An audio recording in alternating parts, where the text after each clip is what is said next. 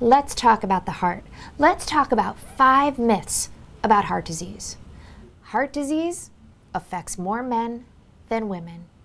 Heart disease is the number one killer of both men and women, but it affects more women than men and more than all cancers combined. We need to get checked mammograms, colonoscopies. This is part of a preventive, healthy life. But let's face it, heart disease is your number one health risk. So this month, let's commit to do something about it. Heart disease is for old people. Not true.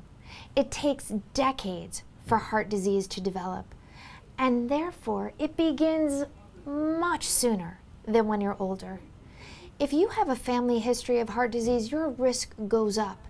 And new statistics show that women less than 55 years old actually have an increased risk, and there's an increased rate of women that age developing heart disease. So everyone needs to get checked, starting at age 20, because age just doesn't matter. Heart disease doesn't affect women who are thin? Says who? Women sometimes look great on the outside, but it's what's going on on the inside that really matters.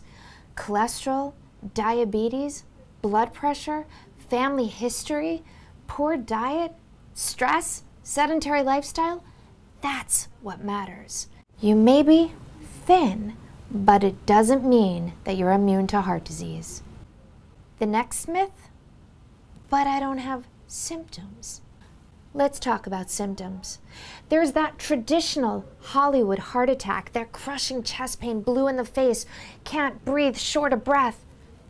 That doesn't often happen with women. Women tend to get more subtle things shortness of breath, jaw pain, back pain, nausea, vomiting, sleep disturbances, even flu like symptoms. It's not that you're not having symptoms, you're not having the symptoms that you thought you should have. Here's a last myth. Heart disease runs in my family, so there's nothing I can do about it. Not true. 80 to 90% of the time, there is something that you can do about it. Making simple lifestyle changes can change everything.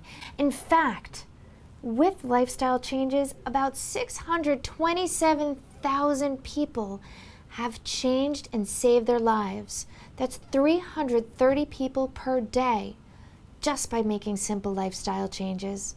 So don't give in to your family history. Do something.